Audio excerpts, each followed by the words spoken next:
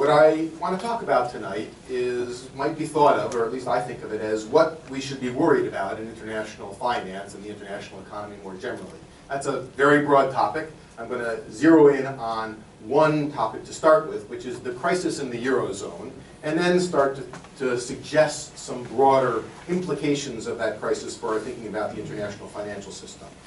So let me start with the Eurozone crisis. I start with the Eurozone crisis for a variety of reasons. First of all, there is little doubt that the most troubling aspect of the international economy today is the ongoing crisis in the Eurozone. This is the region of the world which has suffered most from the great financial crisis that began in 2007. It is the region that has recovered least from that crisis. In fact, the Eurozone remains mired in the aftermath of the crisis.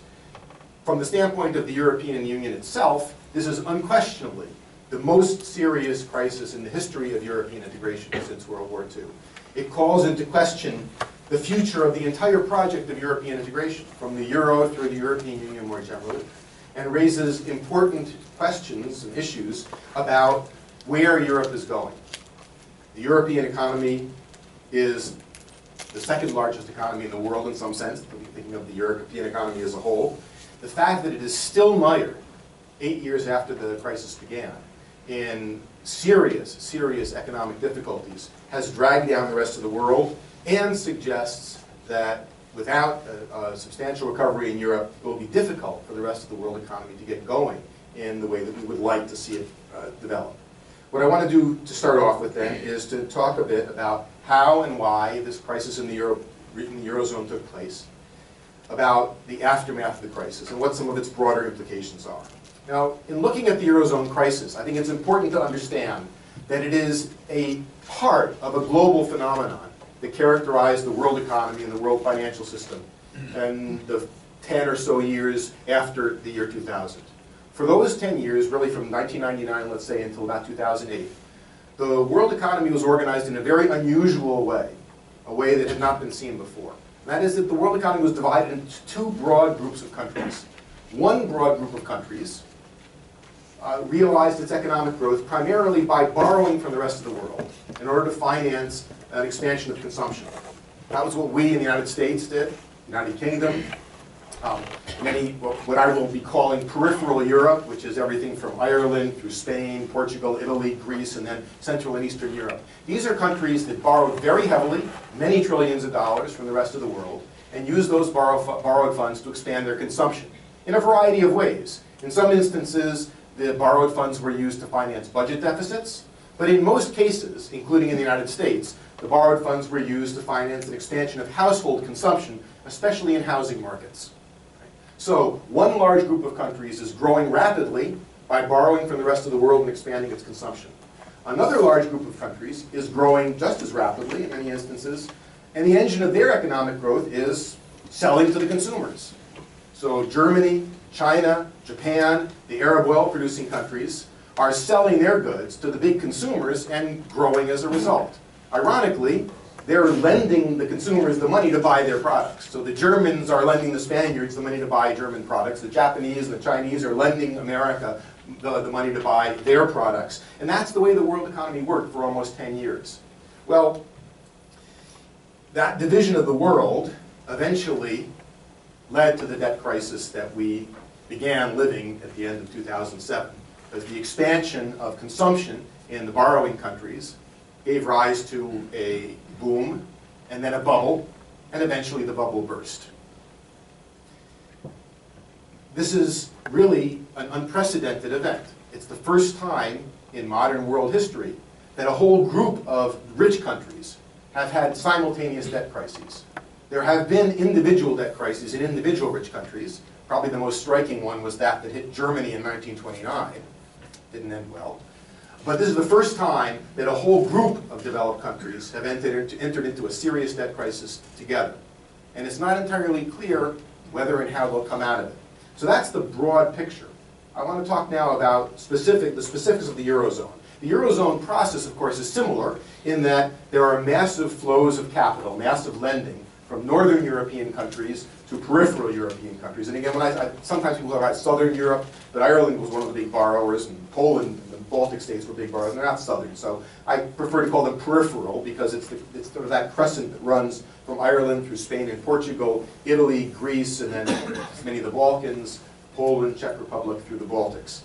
So very large capital flows from Germany, the Netherlands, Belgium, to some extent France, to peripheral European countries, which led to a big expansion of consumption, especially in housing markets, a big housing bubble in those countries, which eventually burst, uh, leaving the European economy with the kind of debt overhang, debt crisis that we experienced in the US. So it's part of the broad phenomenon, but there are many important Eurozone particulars. So I'm going to spend some time going through what it was about the construction of the Euro that determined the course of the crisis and that contributes to it being so difficult to resolve.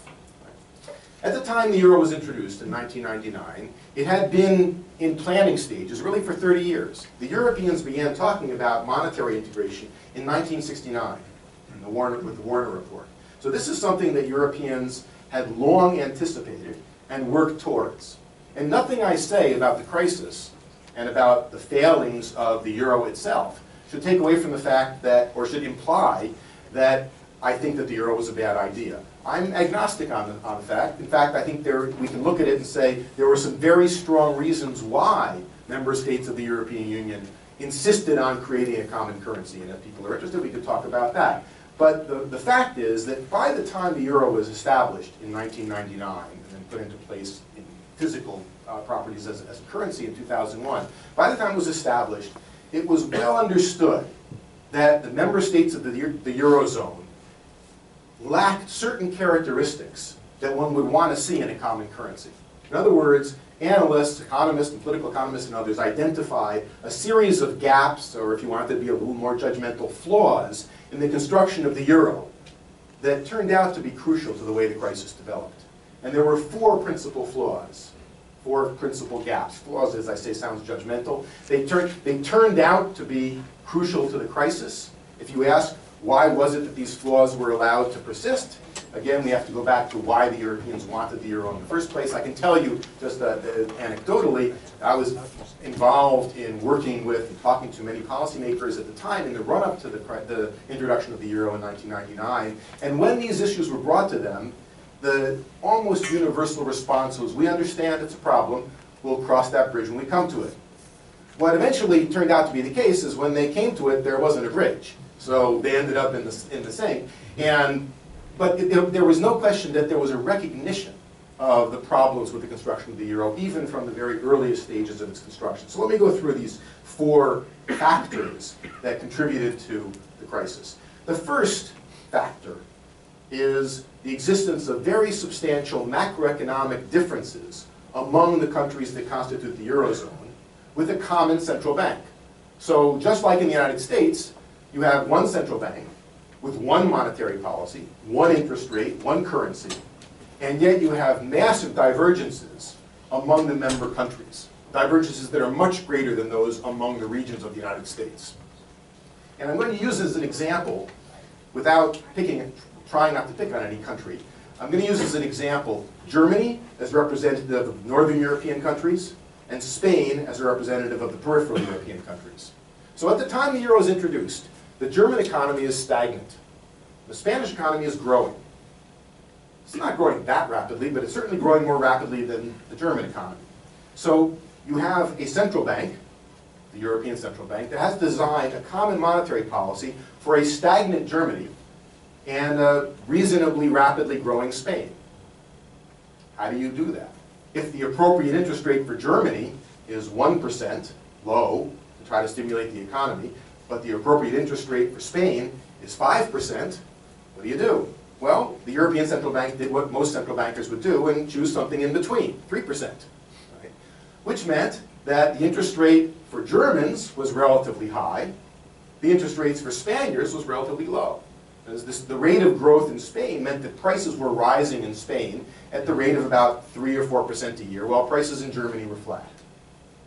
So if you think of what it looks like to a German where prices are flat and interest rates are 3% is lending might be a pretty good idea. Because you can earn 3% when investments in Germany aren't earning anything. If you're sitting in Spain and, and prices are rising 4% a year, and the interest rate is 3%, you can borrow for nothing. You've got negative real interest rates. So you start with this macroeconomic divergence and a common monetary policy, and that leads to incentives for people in Germany, Northern Europe, to lend to people in Southern Europe, and incentives for people in Southern Europe, Spain, to borrow. You start there, and as capital starts flowing from Germany to Spain, it exacerbates or accentuates the process. The more money is lent from Germany to Spain, the more rapidly the Spanish economy starts growing. The more rapidly the Spanish economy starts growing, the more prices start rising. And especially prices of the things that most people are using the borrowed funds to buy, which is housing. So as more money, so the German, German banks lend money to Spanish banks, the Spanish banks lend money to Spanish homeowners, and you start to get a big uptick in housing prices in Spain. The Spanish banks say, "Gee, this is a great deal. Housing prices are ri- rising 10, 15, 20% a year. Let me make more housing loans. And they go to the German banks and say, lend us more money. And the Germans say, geez, German housing market is stagnant. Actually, housing prices are falling in Germany. We're not going to make any real estate loans in Germany. We're going to do it in Spain. So the German banks lend to the Spanish banks, which lend to the Spanish homeowners. And it's a self-reinforcing process, which goes on for almost 10 years until it doesn't go on anymore. That's, so that's the first characteristic of the Eurozone to keep in mind. The macroeconomic divergence is with a common monetary policy.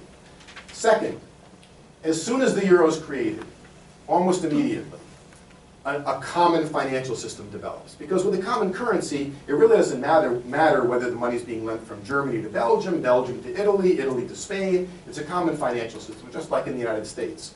But each national authority exercises regulatory competence over its own banks.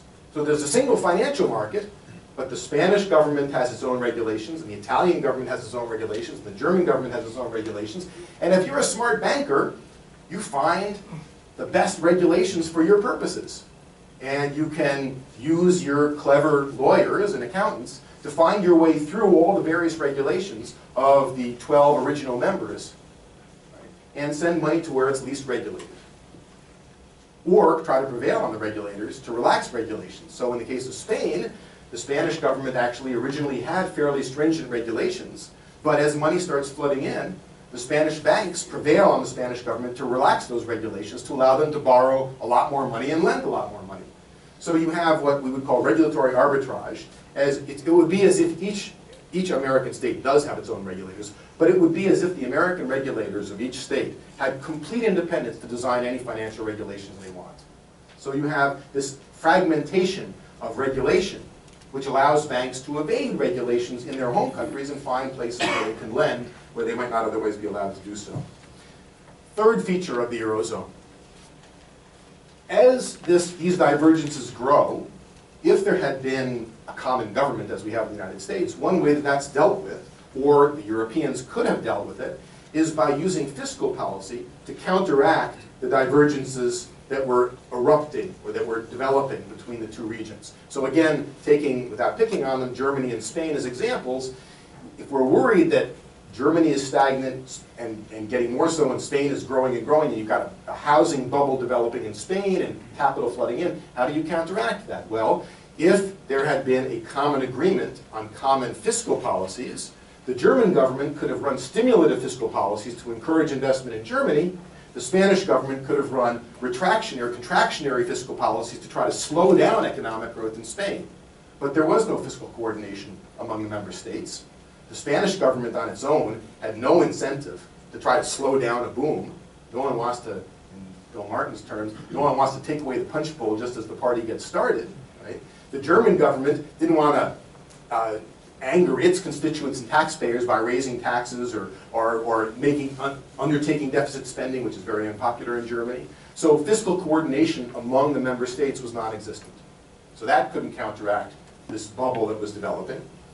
And then finally, and as it turns out in some ways most strikingly, there was, and I'll say the phrase and then talk about it a bit, there was uh, no bailout commitment that was not credible. What does that mean? That means at the start of the euro, where the member states said, if one country gets in trouble, we are not going to bail them out. No one's going to bail anyone out. If Spain gets in trouble, we're not going to be bailed out. If Italy gets in trouble, they're not going to be bailed out. And they said it over and over and over again. They wrote it into the laws. They pronounced it from the rooftops, and nobody believed them. Nobody. The markets said, if there's a financial crisis in one member state, it's all one currency. It's all one central bank. They can't ignore it. They're going to have to bail them out. There has to be a bailout. This, this notion that there will not be a bailout of a single country getting into crisis is not credible. We are going to assume that any country that gets in trouble will be bailed out. And how we know that this is what the markets thought is by looking at interest rates, spreads, spreads on lending to governments. In 1999, 1998, before the euro was introduced, the Greek government paid about six percentage points more than the German government to borrow, right? which was appropriate because the Greek government had a long-standing history of not running its finances very carefully. And the German government, on the other hand, had a long-standing history of running its finances very carefully. The day the euro was introduced, within weeks, the spread between German and Greek borrowing, that is what the markets charged the Greek government, went to about point, to about a fifth of a percentage point, 20 basis points. That is, the German government could effectively borrow at the same interest rate as the German government. And so could the Portuguese government, and the Spanish government, the Italian government, so the markets priced in the expectation that if there were a financial crisis in one member state, it would be bailed out by the other member states. What that meant was that not only could individuals, households in Greece or Spain or, or Ireland borrow for next to nothing, governments could too. Governments could effectively borrow with German creditworthiness, even if they really didn't have the credibility of the German government.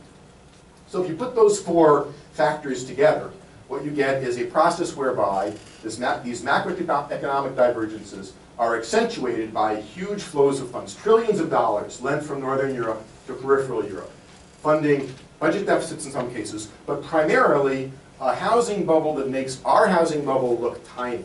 I was in Ireland, in Dublin, in 2000, end of 2006, beginning of 2007. Dublin is a small city on a a flat plain, no constraints on new construction, wandering around a middle-class neighborhood south of where I was at Trinity College, there were in the estate agents' windows, you could see ads for modest two-bedroom homes, homes for one and a half million euros, two million dollars. Right?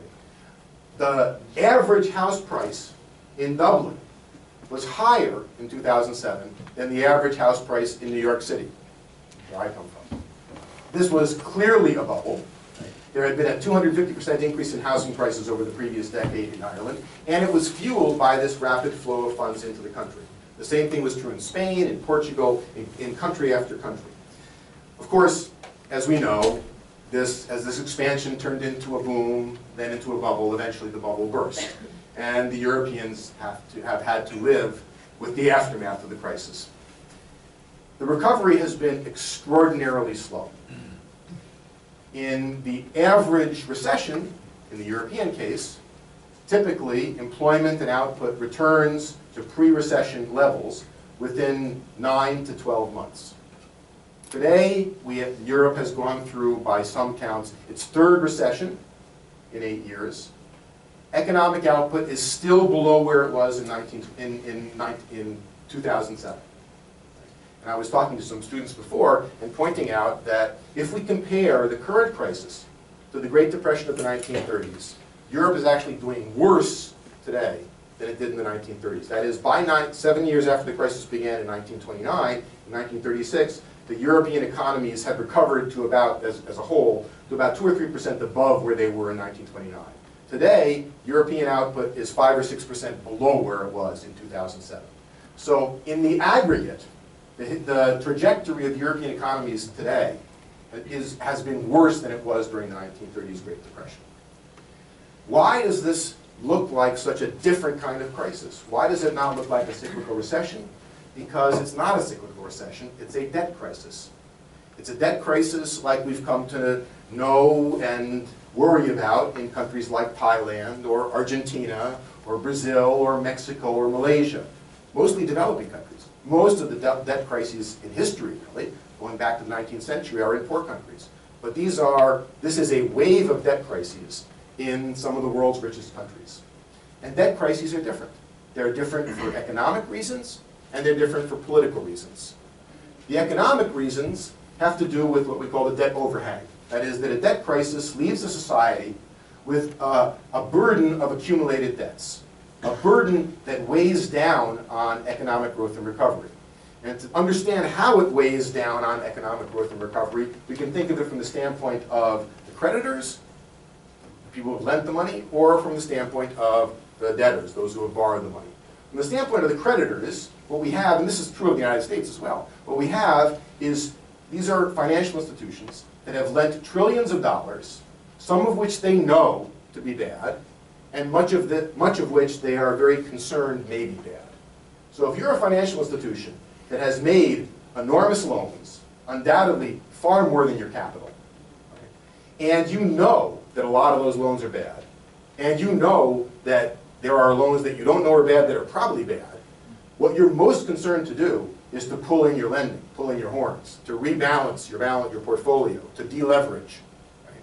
to get rid of the bad loans, try to fob them off on some uh, venture capitalist who's willing to take a risk, or on the government, if the government has guaranteed some of them, or just let them drain off the books. The last thing you want to do is make new loans to risky borrowers. So, in the context of this debt overhang, the financial institutions aren't lending. What they're primarily doing is deleveraging, getting rid of their loans rather than making new loans. And the unwillingness of financial institutions to make new loans, again, is a drag on recovery. Even if the recession's over, even if the recovery has begun, if the financial institutions aren't extending credit, growth is going to be, is going to be stunted. From the standpoint of the debtors, you have more or less the mirror image. The debtors have experienced a whole series of shocks. They may have experienced unemployment. Unemployment is very high in Europe. Their incomes have probably uh, declined. Their assets, their savings have gone way down in value. Their homes have gone way down in value. So they have a lower level of earnings, but they still have these high debts. The debts have not been reduced in value. Their savings have been reduced in value, their homes have been reduced in value, their income has been reduced in average terms in value, but their debts stay the same. The only way they can service those debts is by consuming less and putting aside some of that consumption to service the, the debts that they owe. So households have to respond to this debt overhang by reducing consumption. So the financial institutions aren't lending, and consumers aren't spending. Economically, in other words, the debt overhang constrains both lending and spending and holds back the economy. But there's a political angle to a debt crisis, which, in my view, is even more daunting and even more problematic. And that is that debt crises pretty much always and everywhere lead to massive political conflict. They lead to massive political conflict because they present society with a highly political question. Who's going to pay to deal with these accumulated debts? Who's going to make the sacrifices necessary to get the economy back on the right track? This is especially difficult when, as is the case in Europe and in most other of the major debtor countries, when we're talking about international debts, foreign debts. Because then you have two dimensions of political conflict. You have the international dimension and the domestic dimension. Internationally, a debt crisis, and we know this from Latin America, East Asia, Africa, Asia, now from Europe, an international debt crisis sets creditor countries against debtor countries with very clear interests. The creditor countries want to get paid back. The debtor countries want to pay as little as possible. The creditor countries say, as, Woodrow, as uh, Calvin Coolidge said about the Europeans in the 20s, they hired the money, didn't they? The creditor countries say, you said you were going to pay us this back. We want to get paid back. Why should our taxpayers take the hit? Why should our banks take the hit? The debtor countries say, yes, we borrowed irresponsibly, but you lent irresponsibly. There are two sides of this transaction. We, want to, we need to distribute the burden. We'll take some of the hit, but your banks have to take some of the hit as well.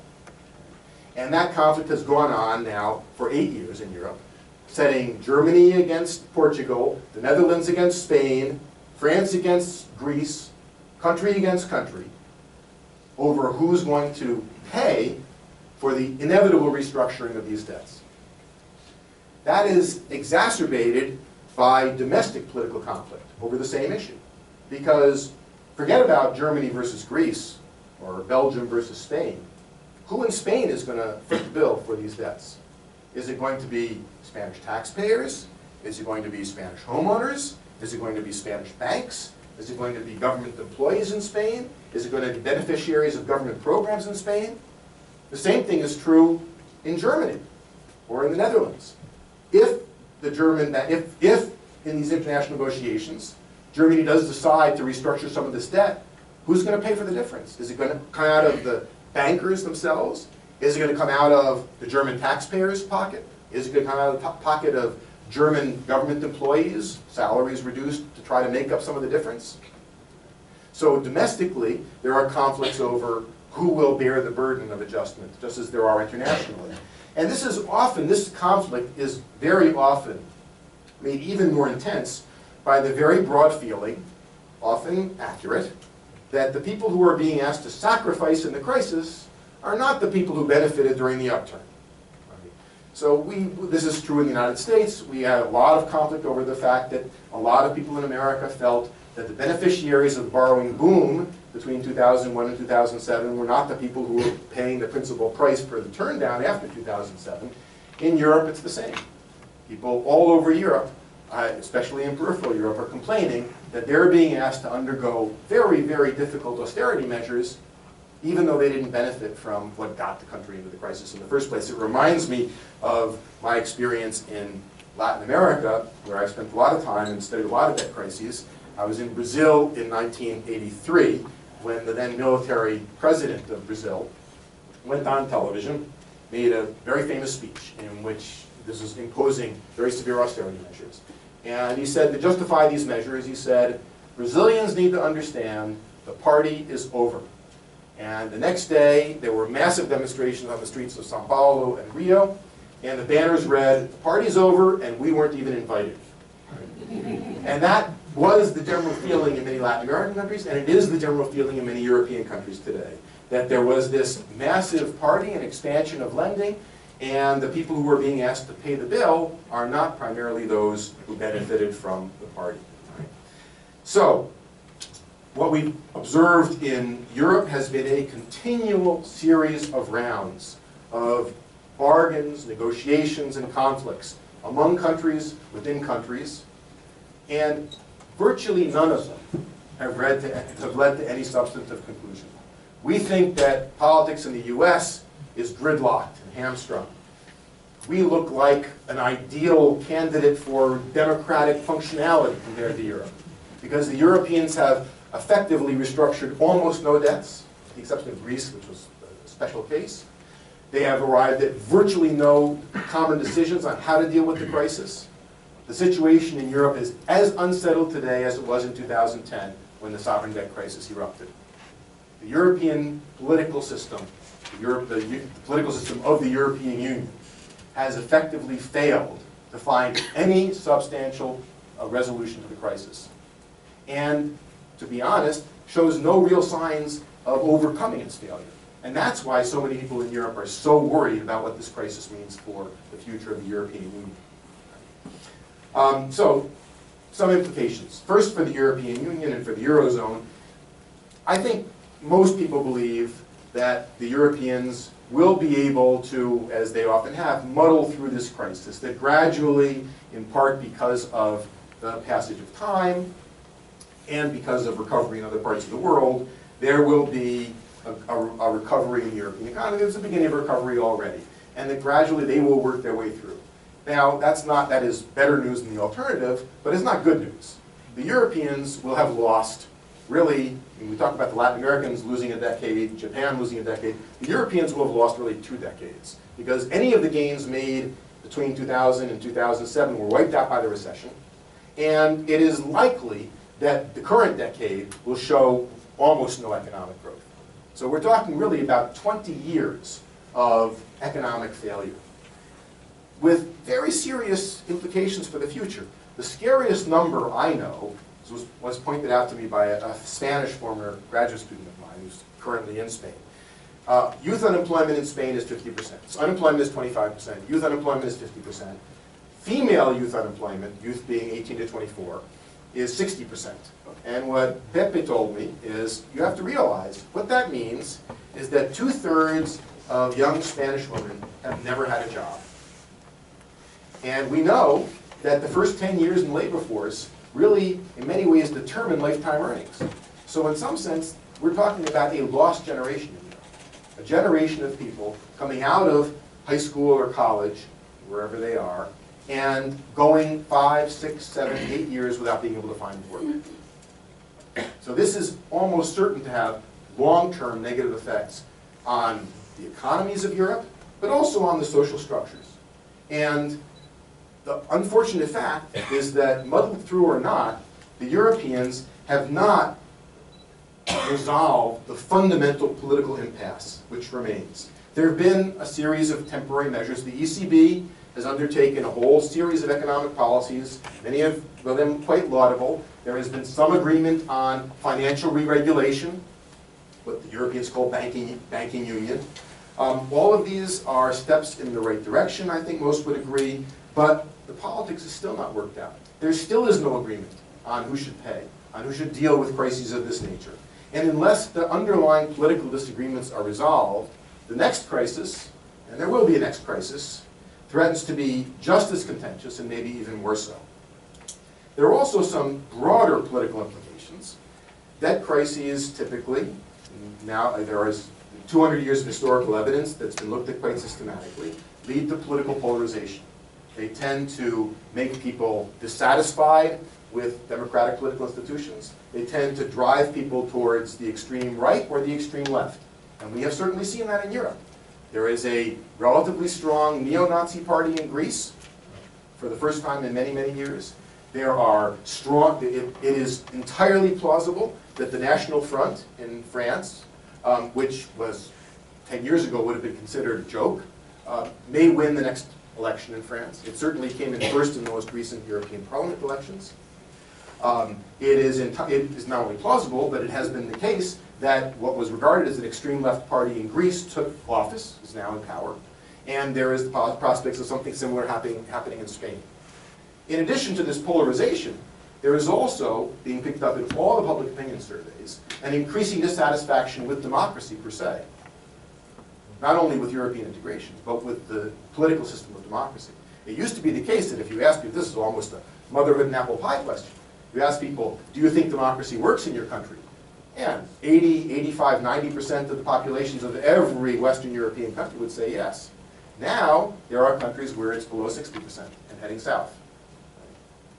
If you're sitting in Spain with 25% unemployment, and the government's not really doing anything about it, or in uh, some of the Eastern European countries that are experiencing similar things, and you feel that democratically elected governments are not doing anything about your circumstances, you're probably one of those 35 or 40% that are saying the democratic system is not working. So not to paint too drastic a picture, we're not going back to the 1930s, at least I'm quite sure we're not going back to the 1930s, but the, the broader political and social implications are very worrisome. So that's Europe. Let me, on that happy note, um, move on to some broader or more general considerations, because I think the, Euro, the Eurozone crisis brings to the fore some issues that are worthy of attention in the international economy and the international financial system more generally.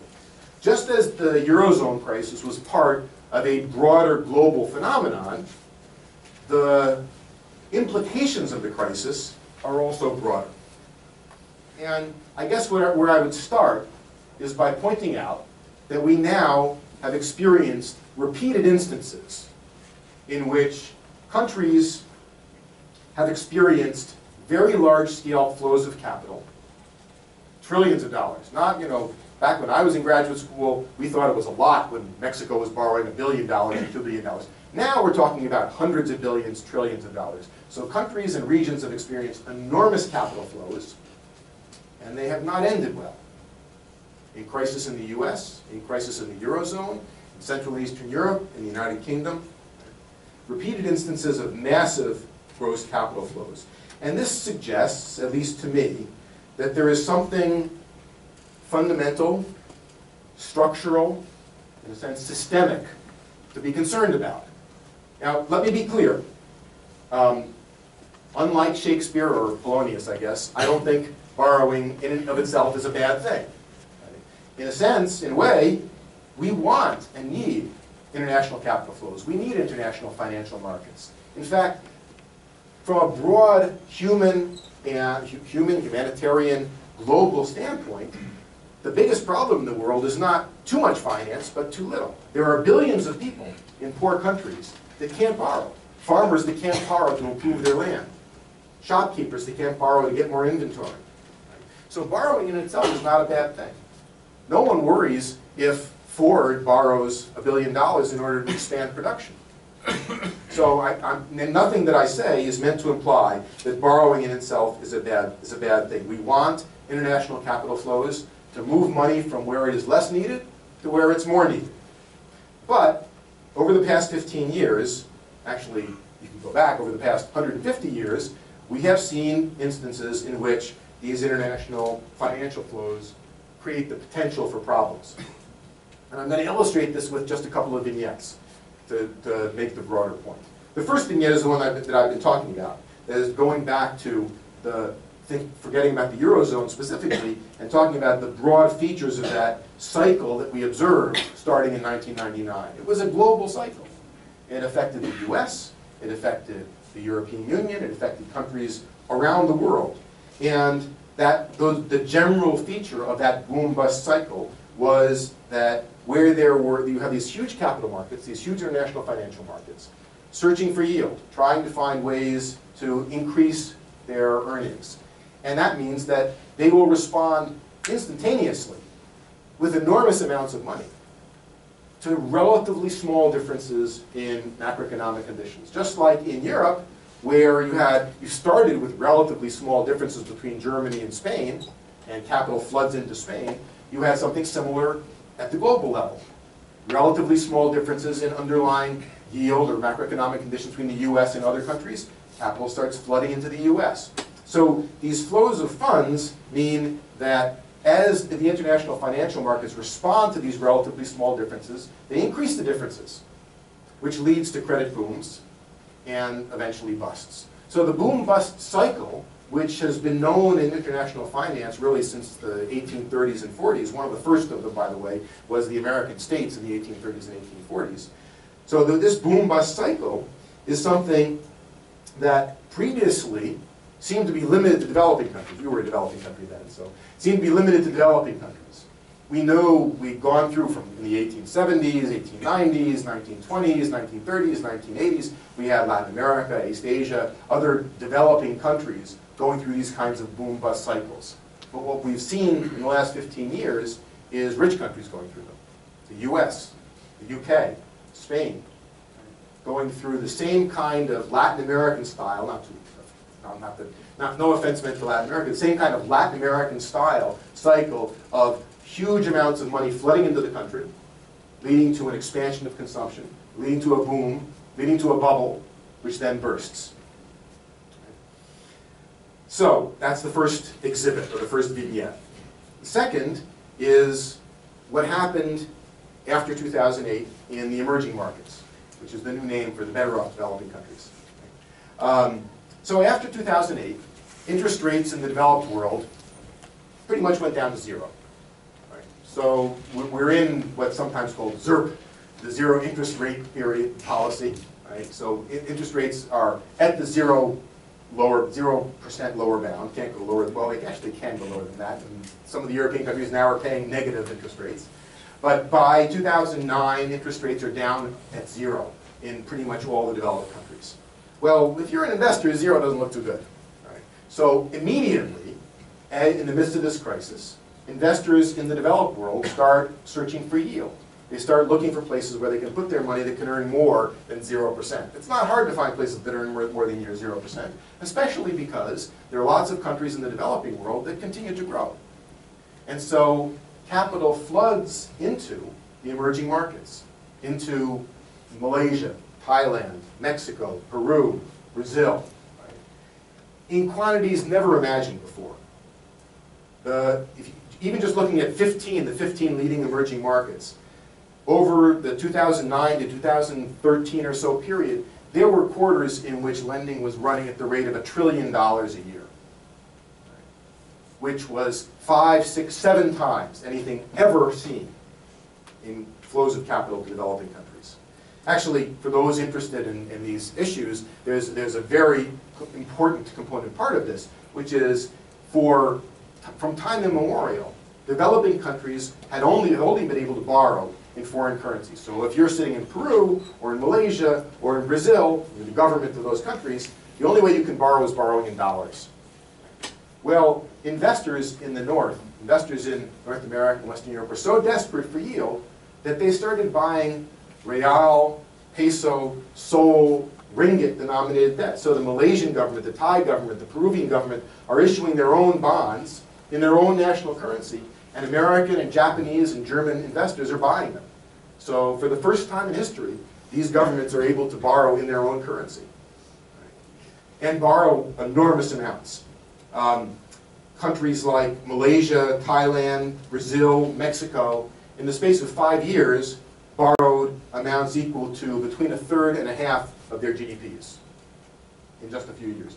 And they weren't in the midst of a big crisis. This is, this is money they were borrowing while they were growing very rapidly. So, good news, they, they can borrow enormous amounts. Sovereigns, governments can borrow in their own currency. But along with governments borrowing in their own currency, corporations in these countries are, are borrowing, and they can only borrow in dollars and euros, especially in dollars. So you have, if you look at these 15 countries, their governments owe about a, bill, a trillion and a half dollars in their own local currencies, but their corporations owe about $4 trillion in dollars. Economies boom, everything's going along well, until 2013 comes along, and the Fed starts talking about, well, maybe we're recovering, and maybe the US economy doesn't need zero interest rates anymore, and maybe we'll start raising interest rates sometime in the future. We're going to be patient for now, but maybe we'll start raising interest rates sometime in the future. And the markets say, whoa, if they're going to be raising interest rates in the future, I better get some. And $5 trillion floods out of the emerging markets and into the US dollar. The dollar skyrockets, the, these currencies collapse, right, and they find themselves in big trouble. Why do they find themselves in? Take, take the case of Brazil. The Brazilian real, the currency, trillion, uh, in the case of, of Brazil, somewhere between half a trillion and a trillion dollars has come in. For the private companies owe it, it's in dollars. The real is very strong. The cheapest thing in Brazil is, is the dollar. You can buy dollars for nothing. All of a sudden you have what's called this, this what was called at the time the taper tantrum because the Fed was talking about tapering its, its uh, quantitative easing. And money floods out of Brazil and the real drops 30%. And all these corporations that are earning reals but have to pay back in dollars find that their real debt burden has increased 25, 30, 40%. And there's a wave of bankruptcies which threatens the entire Brazilian economy.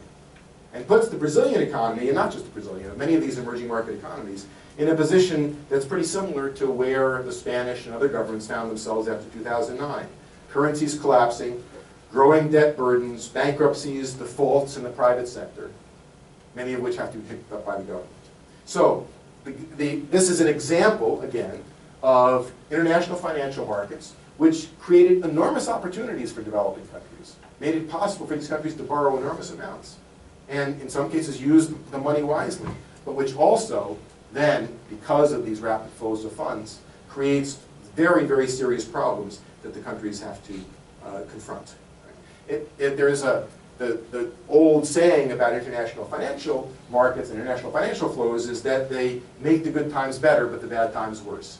And the way Ragnar Nurkse, who was the chief economist of the League of Nations, talked about this in the aftermath of the experience of the 1920s and 1930s, I think is probably pretty close to being accurate today. He said the experience of the past 20 years shows that international finance is like an umbrella that you get lent, that you get to hold, gets lent to you when the weather is good, and gets taken away as soon as it starts to rain.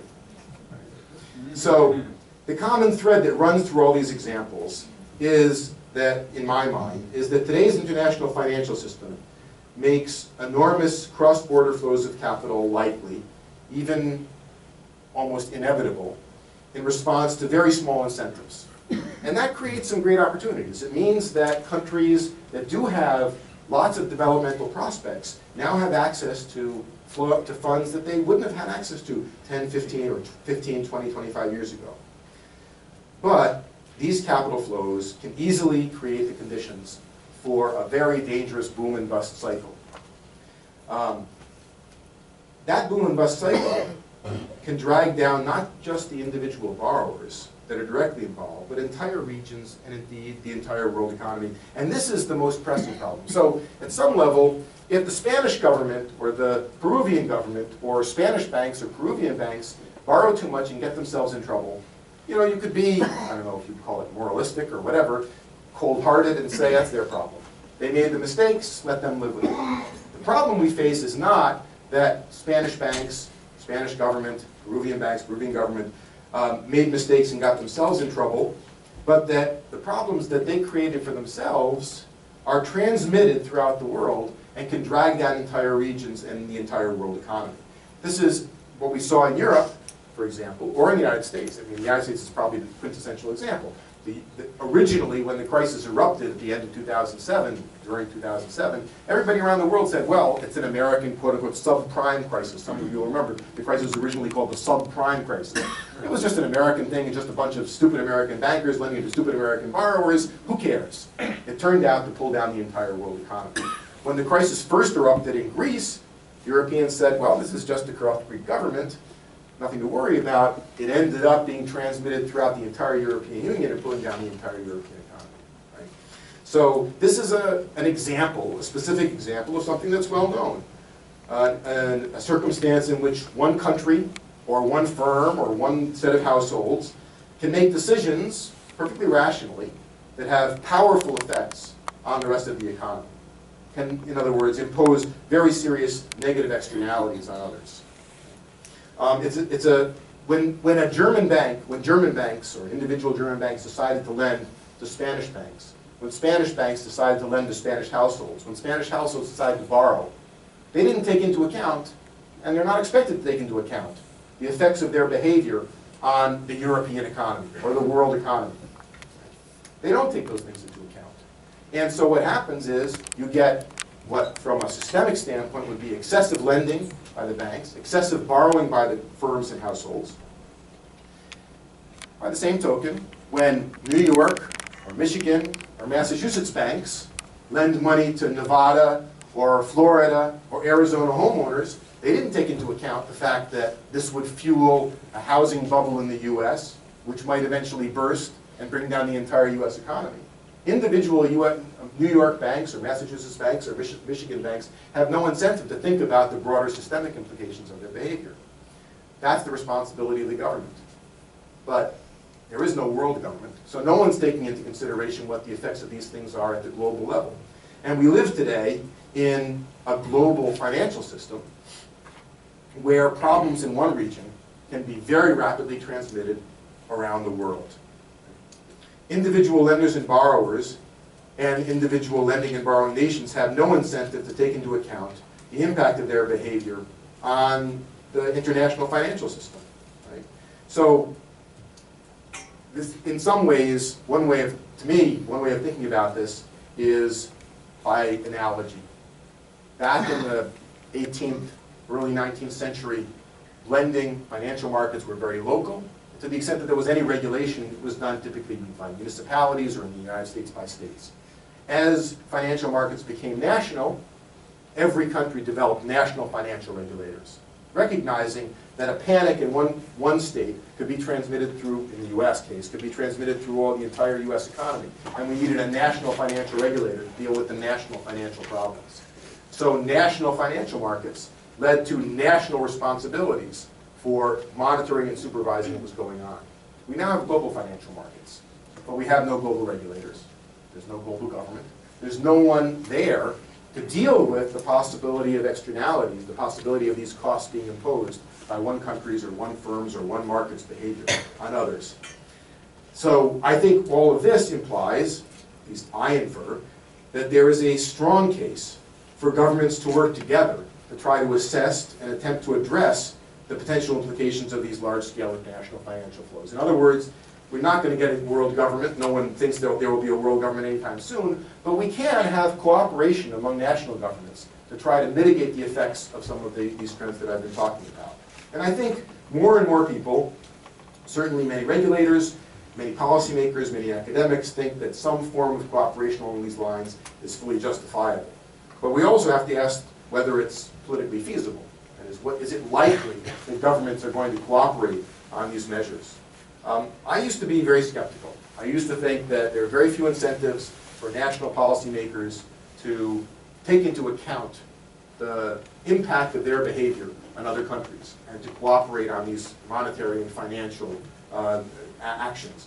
But I've become a lot more, not a lot more, but a little more optimistic for two reasons. The first is that in the aftermath of the crisis, we've seen that politicians have paid a pretty serious price, price for not being alert to the possibilities of a crash. Virtually every government that was in office when the crisis hit was turned out of office.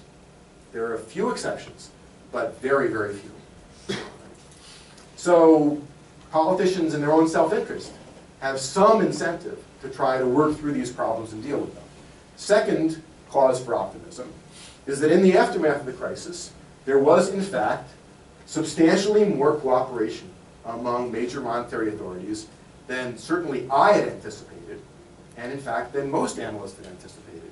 When Lehman Brothers failed and the world financial markets froze in October of 2008, um, almost immediately the world's major monetary authorities, the European Central Bank, the Fed, the Bank of England, the Bank of Japan, Bank of Canada, got together and worked out coordinated international monetary policies to try to address the crisis. And those, that, that cooperation stuck for years. Now, there were many other failures in economic policy making on the fiscal side, on many other sides, but in monetary policy, the major central banks worked quite closely together and have continued to work together on trying to develop some common framework for financial regulation. Now, we can criticize everything from the monetary policies to the financial regulatory policies, but the fact is that really for the first time in post-war modern financial history, the major monetary authorities of all the big financial centers worked very closely together to confront a substantial economic crisis. So I think there is some cause for optimism. So those are my general thoughts, and they're somewhat tentative and somewhat halting, but let me summarize them. I think that recent experience demonstrates that today's international financial markets can create enormous opportunities. But they may also give rise to some very serious problems. And in particular, we can be pretty sure that this is not the last financial crisis we will face. There will be more cases in which the actions of borrowers, lenders, national governments create very serious problems for themselves and for others. There will be experience after experience of these kinds of international externalities in monetary and financial policies. They will certainly recur. We, and by we I mean analysts, policymakers, academics, and others, are still working through exactly what and how and, what character future crises may have and how they might best be addressed. In other words, the contours of this very new, very different, and in many ways unprecedented international financial and economic order are not entirely clear. But I do believe that as those contours become clearer, we will see that there is a greater need for cooperation among the major governments on international monetary and financial policy. And I want to end on an optimistic note. I, I believe that we will also see a greater desire on the part of governments to undertake the difficult steps to achieve that cooperation. At least, I hope so. So let me end on an unusually positive note and turn to questions or comments.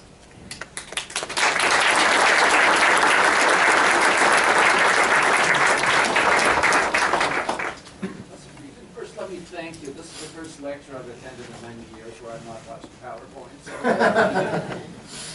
power, power, power corrupts, but PowerPoint corrupts absolutely. uh, I'm just. One of the things you didn't touch John, were some very important recent developments. In particular, the collapse of energy and commodity prices over the past year, and maybe related to that, the adventures and the rise in the United States and Europe, uh, of uh, Russia, and political tensions elsewhere in the world. And is this going to complicate matters over the next couple of years? Right, so since I don't know if everybody could, could hear the question, let me just read it. What, what's the impact of, trends is perhaps the wrong word, but trends in energy price, whatever's happening in energy prices around the world. commodities in general. Commodities in general, yes, right, the, the collapse of commodity prices. And the second is, what are the potential implications of, um, of, what do you call it, ad- adventurous policies on the part of the Russian government? Um, First, the commodity, commodity prices. So this, to me, the commodity boom was part and parcel of the same phenomenon where very large-scale flows of financial funds could contribute to increases in asset prices, increases in prices of lots of things, including assets.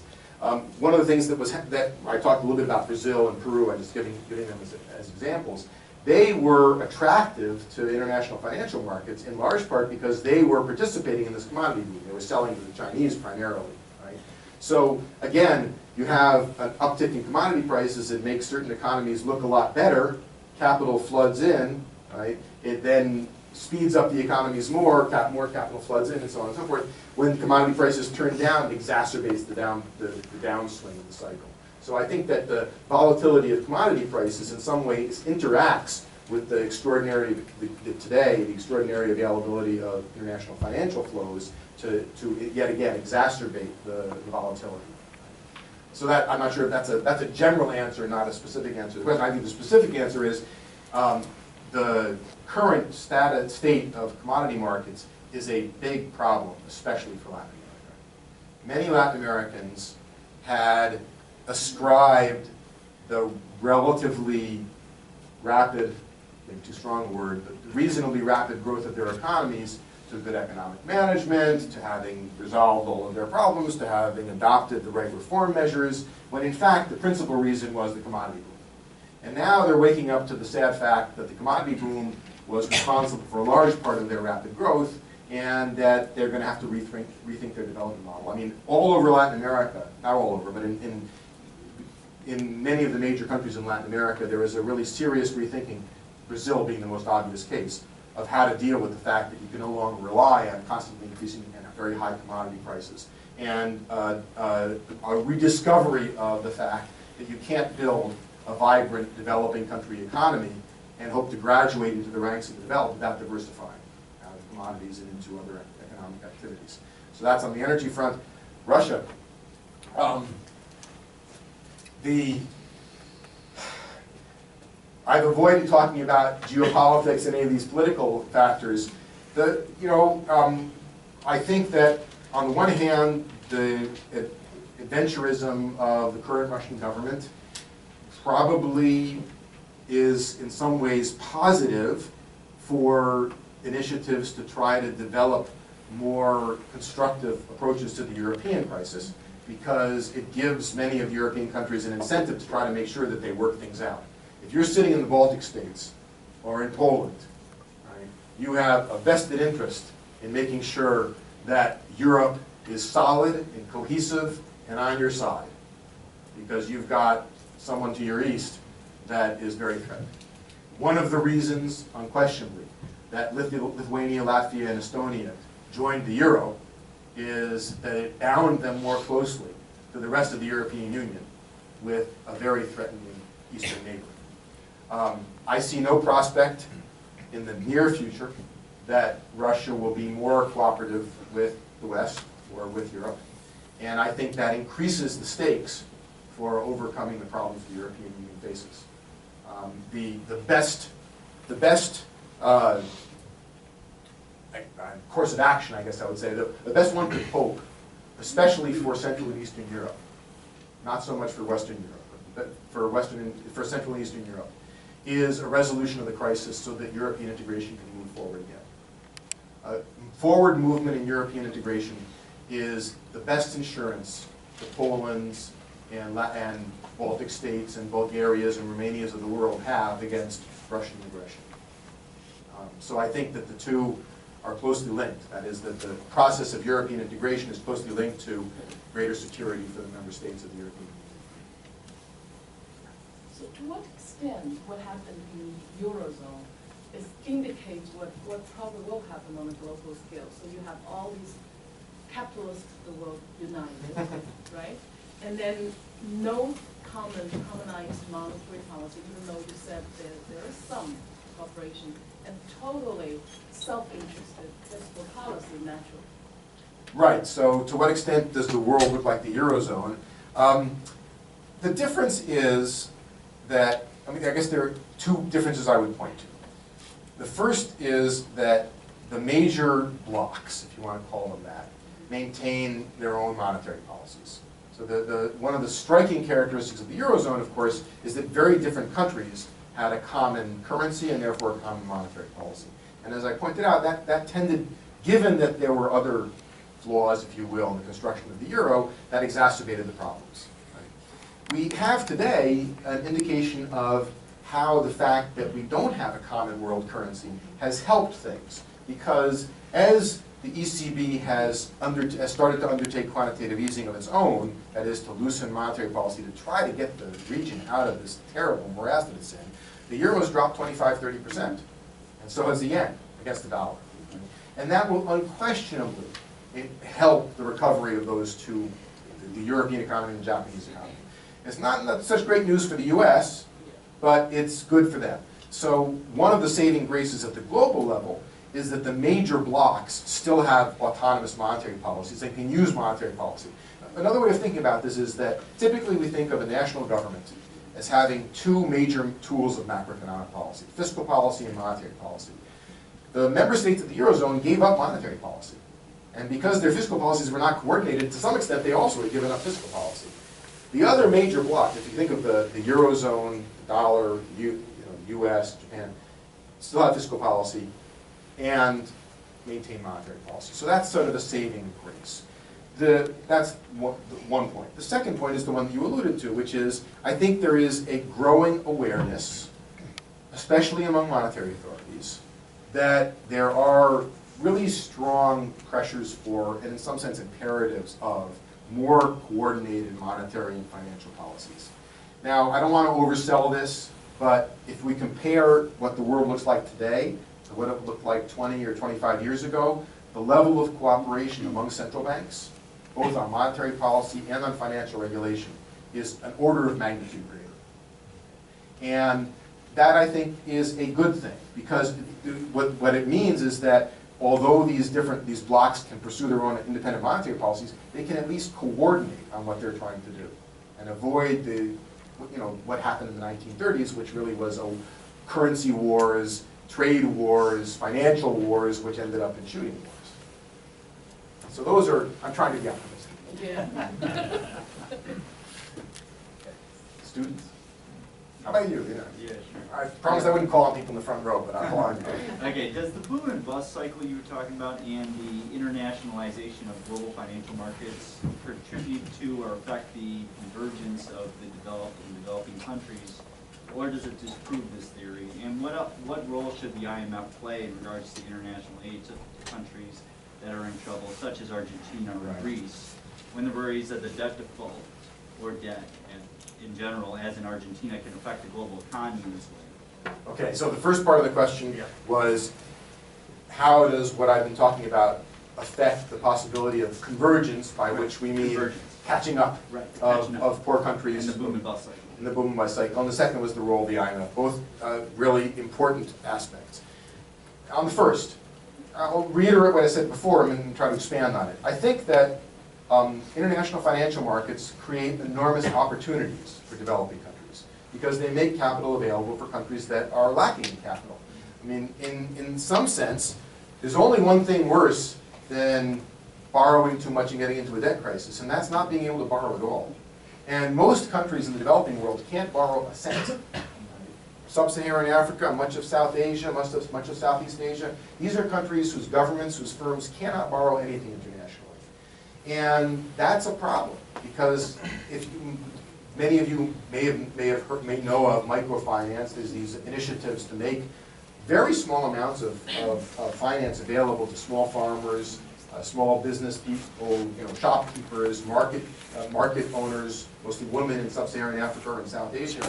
Um, the, the, the, one of the biggest problems that developing countries face is an absence of financial opportunities. Because, you know, finance, in some sense, is essential to economic growth and development. Because what, what does finance, what does borrowing mean? It means that you're able to, you're able to make investments that will increase your productivity and therefore allow you both to pay back your loans and to be better off. Every, every, virtu, I, I think of that, I should say every. So let me say virtually every country I can think of that has developed successfully, including the United States, did so with substantial inflows of foreign finance. We financed our canals, our railroads, our mines, many of our factories by borrowing from the rest of the world we were developing country. And if you look at the real success stories of the last 40 years or so, the Koreas and Taiwans and others, they were heavy borrowers in the initial phases of their economic growth and development. And the countries that can't borrow really, in many ways, are stuck in a low-level equilibrium trap. If you can't borrow and you can't, you don't have the resources of your own to finance new investments, you can be stuck for a long time. So I think there are great opportunities, but opportunities also involve risks. And, and I think the, the, I call it a trick, but the real question is, can the international system, to the extent that there is such a thing, find some way of making the opportunities available and reducing the risks? So, you mentioned the IMF. During World War II, the great powers came together and designed international institutions that they thought would make the opportunities available but reduce the risks. And they had some successes. But I think everyone would agree that the IMF and the World Bank have not been quite as successful as they might have been. There's a lot of talk these days about the reforms necessary in these, these so-called Bretton Woods institutions that might make them more effective, both at mobilizing capital for countries that need it, and that preserving or improving the level of cooperation among the major financial powers. At this point, a lot of those initiatives are stalled. And they're stalled, not to put too fine a point on it, but because of power. The IMF and the World Bank are essentially run by the rich countries, and they're under a lot of pressure from developing countries, Brazil, India, China in particular, to make those institutions more responsive to the needs of developing countries. But, you know, it's hard for those with power to give it up. And so I think that what's happening in the corridors of Washington, where the IMF's about to have its annual meetings, is a very gradual evolution towards an international monetary fund and a World Bank that will be more sensitive to the needs of developing countries. And if we're fortunate, and if the politicians can work it out, that will that will be able to play a more constructive role in trying to get more capital to developing countries that need it, under circumstances that are perhaps, you might say, fairer to them. So I think, again, I'm trying to be optimistic. All night, I'm trying to be optimistic. It's hard, it's hard to spend your life studying financial crises and remain optimistic, but I'm trying. right? Um, and so I think that there are some glimmers of hope. A bunch of us were talking earlier today about the Chinese initiative, the initiative led by the Chinese to set up an international infrastructure bank, which the U.S. has not joined. Um, one can one can think what one wants about that initiative, but the fact is that it represents what you might think of as a democratization of the international financial system. You know, in 1960 or 1970 or even 1995, the international financial order was managed lock, stock, and barrel by the U.S., by North America, Western Europe, and Japan. No one can say that today. No one can seriously talk about international financial and monetary affairs and management without taking into account the Chinese, the Indians, the Brazilians, um, the developing world, and that's a good thing. Um, speaking again on, I believe it's called the New Development Bank, is the bank that you were speaking of? The Chinese, the, yes, Asia international, in- Asian, in- Asia infrastructure investment. Yes. right. Um, how do you feel that this New Development Bank, because these European countries are such huge investors in the IMF and in the World Bank, how do you think that this sort of competitor that's coming up is going to affect uh, Europe's restoration process? Right, so the, the question is, will the Asian Infrastructure Bank, Infrastructure Investment Bank, will it affect, how will it, or how might it affect European recovery? Yes. I think it won't have much of an impact on Europe. right? it's because it's, it's not competing with Europe for capital. And the Europeans actually have signed on. Most of the Europeans have signed on. The US is not, but most of the Europeans have. The, the principal purpose of the bank, as I understand it, it's not, it's in formation, so we don't really know what, what, what's gonna end up doing. But, but my understanding is its principal purpose is to make development finance available, especially for infrastructure projects, on terms which are less stringent, we might say, and less controlled by the developed countries than is currently the case with the World Bank. Again, some of us were talking earlier today, and, well, that sounds like a wonderful thing. But one of the things it means is that this is a bank that, unlike the World Bank, might make loans that don't take into account things like impact on the environment, um, human rights, democracy. You know, So the World Bank's been under a lot of pressure from the, from American, European, other activists to democratize lending, to make sure that it's environmentally safe, that, to make sure that it's accountable to local populations. That's not a really popular po- policy in a lot of developing countries. It's especially not popular in China, but it's not popular in a lot of developing countries. So the principal purpose of this bank, as I understand it, is to try to move away from some of those conditionalities and make funds available on, on terms that developing countries will find more forgiving, let's say. As it, as for whether it affects the European, the, the European problem, I would say it's, it's orthogonal to it, it's not directly related. It, it may help in some indirect sense, in that it might provide some goodwill on the part of developing countries towards the Europeans. Certainly some goodwill on the part of the Chinese towards the Europeans, and the Europeans are desperate to develop China as a market. I mean, the Germans are desperately searching for new markets now that they've lost much of the European market, which is in, in, in recession. So in that sense, it might help, but, but the direct effects will not be, will not be strong.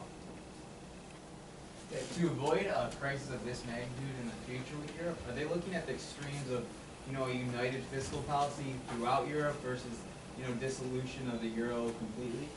So the question was, uh, in response to the crisis, are they thinking of extreme measures? And the two extreme measures, very reasonably stated, are a consolidation of some common European fiscal policy on the one hand, which would be sort of making Europe like the United States, or just dissolving the euro.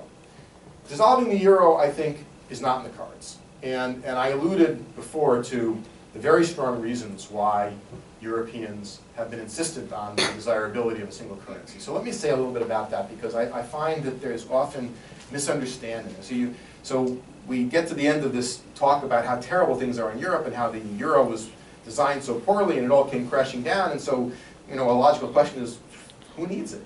You know, if you walk into a disaster, you know, you walk out again. Um, but the reality is, it's not so simple. And there are two very strong reasons why the member states of the European Union have been so insistent on a common currency. The first is a purely economic one, and that is that there's a lot of evidence that sharing a common currency is a dramatic um, precipitant of or, or facilitator of cross-border trade and investment. So the Europeans have a single market for goods and capital. But there, again, there is increasing empirical evidence, and I could cite some studies for you, that having a common currency has a bigger impact on cross-border trade and cross-border investment than the kinds of single market treaties that the Europeans have signed. I'll give you a specific instance. There's a Roberto Rigobon at MIT and his colleagues have uh, a project called the Billion Prices Project, which actually they're up to about five billion And so they use scanner data. So you can, you can, in this era of big data, you can get scanner data from like thousands of supermarkets around the world. So they have, they literally have billions of prices from countries all over the world. And they've compared them. And, and looking at Europe, they asked the question, where are prices the same? And where do they move together? Right? So if you look in the United States, uh, tube of toothpaste pretty much costs the same everywhere in the United States. And if the tube of toothpaste goes up 10%, the same brand. If it goes up 10% in New York, it's going to go up 10% in Boston, et cetera, et cetera. So they look in Europe, and what they find is that if the countries in Europe have currencies that bounce around against each other, then only 3% of the prices move together. If the currencies are locked together, like the Danish currency and the euro, they move together about 6% of the time. Within the Eurozone, they move together 65% of the time. So for all intents and purposes, the Eurozone has created a common set of prices which move together in the same way that prices move in the United States. And that's a tremendous economic, tremendous economic fillip to economic integration. So you might think of it as the euro facilitates, encourages globalization, integration of the European economies in a way that really no treaties can. Because with the common uh, currency, which makes it so easy to move across borders, for firms to invest across borders, for goods to travel across borders, you get an integration of the market that cannot be achieved without a common currency. That's the, the belief, and there is increasing evidence for that. There's a second reason, which is a political economy reason. It is very difficult to sustain a single market if members of that single market have different currencies. And I'll give you two examples. One example is Mercosur, which is the, otherwise known as the Southern Common Market, created in 1994 by Brazil, Argentina, Paraguay, and Uruguay. Mainly Brazil and Argentina, no offense to Paraguay and Uruguay, but mainly Brazil and Argentina. At the time Mercosur was created, Brazil and Argentina had pegged their currencies to the US dollar at a one-to-one parity. So a peso is equal to a real is equal to a dollar. Mercosur is created, trade barriers come down, and trade explodes between Brazil and Argentina. And everybody is enthusiastic about Mercosur. This is going to be a common market for Brazil and Argentina. It's going to make a huge market, big difference. In 1999, the Brazilians devalued their currency by 40% against the peso. And when they did that, Argentina was flooded with cheap Brazilian products, and the Argentines couldn't sell their products in, in, in Brazil. In response, Argentine producers demanded trade barriers, pulling out of Mercosur. The Argentine government threatened to impose emergency tariffs, and the Brazilians had to, quote unquote, voluntarily restrict their exports to Argentina to keep Mercosur from breaking up. In 2001, the Argentine pesos got its turn, and it collapsed against the real, and you had a flood of Argentine products into Brazil. And basically, Mercosur is a dead letter. And it's a little bit of an exaggeration, but not too much of one to say that the progress of economic integration in Mercosur was halted by currencies moving against each other. Because in each of the member states, it was said, what, what point, what's the point of having a common market if that country can just devalue its currency and get a competitive advantage against us every, every time it wants to? Remember, in, I don't know about remember, a basic principle of macroeconomics is a 10% depreciation is exactly identical to a 10% tariff and 10% export subsidy. So if you can't impose tariffs, but you can devalue, you're doing the same thing.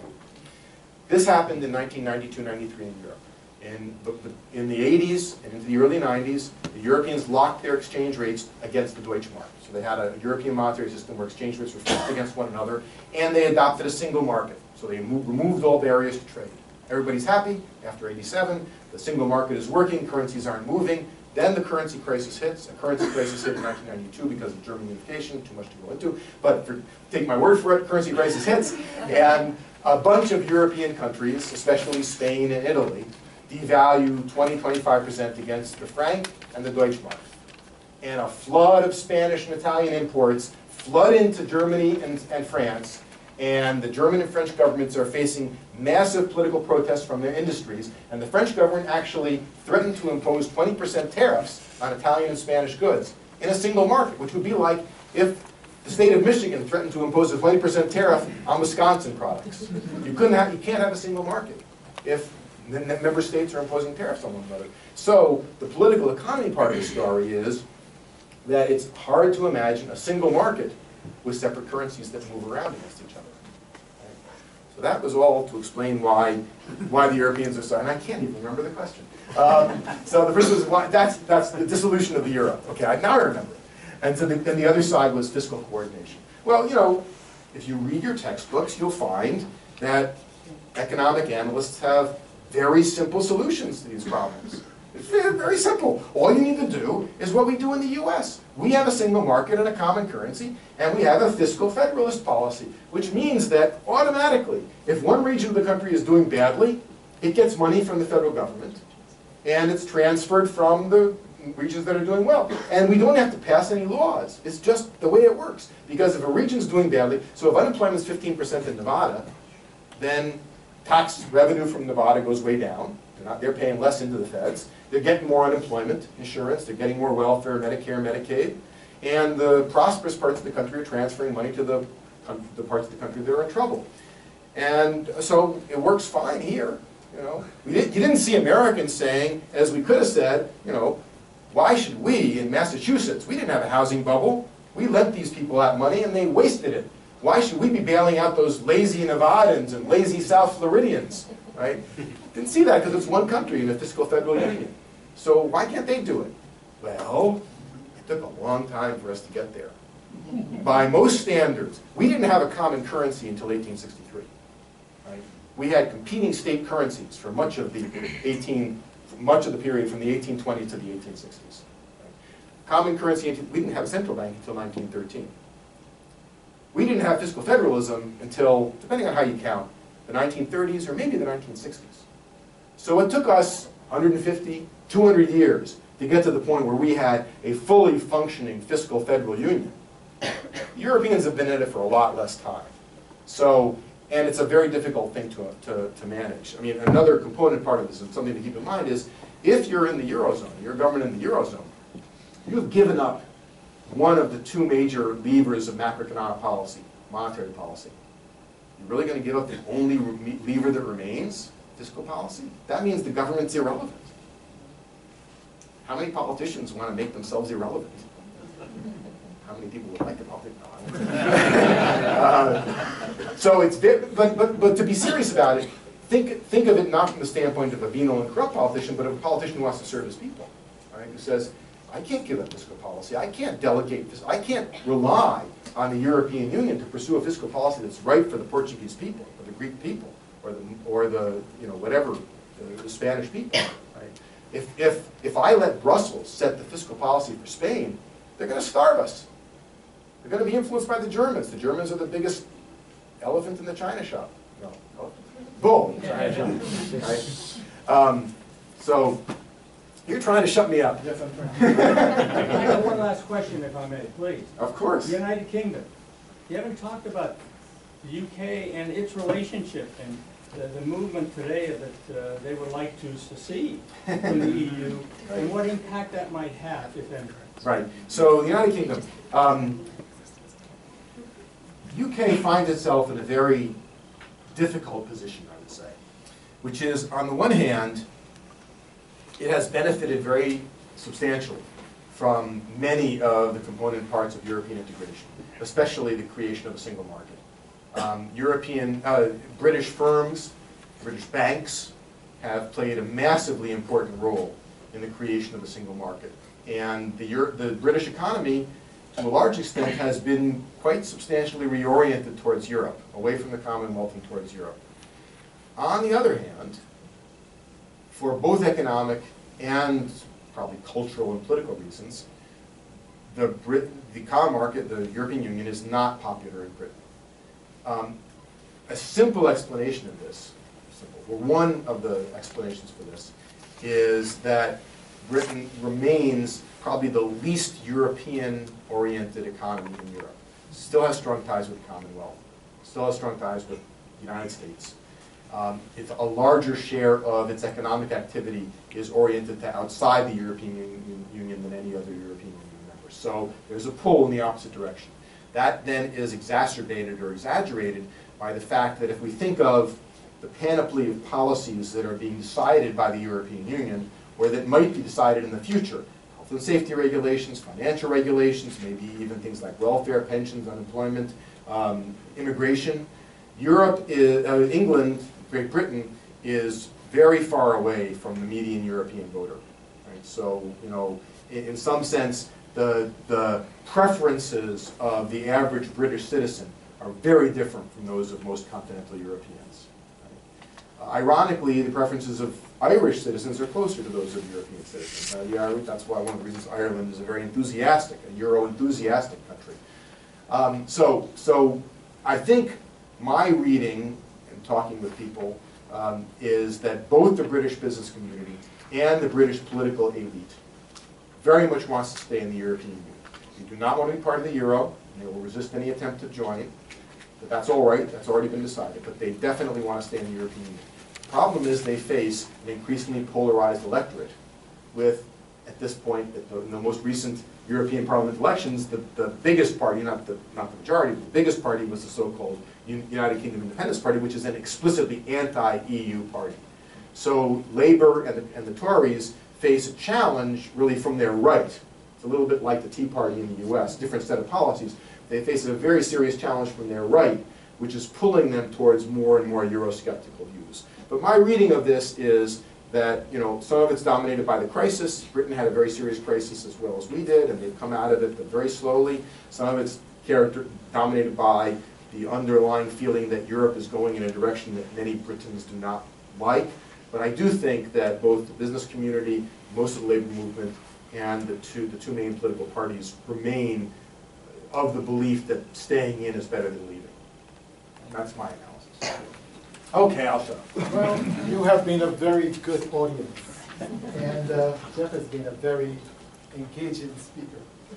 If you want to take home a copy of what he said, on the outside are copies of his new book, Currency Politics.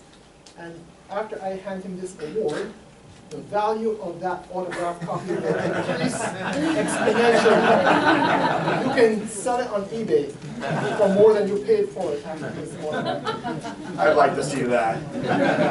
I'm going to take this moment to present to Professor Jeffry Frieden the Alice Connor Gorlin Memorial Award for Excellence in the Field of International Economics by the School of Business Administration at Oakland University, dated April 2002.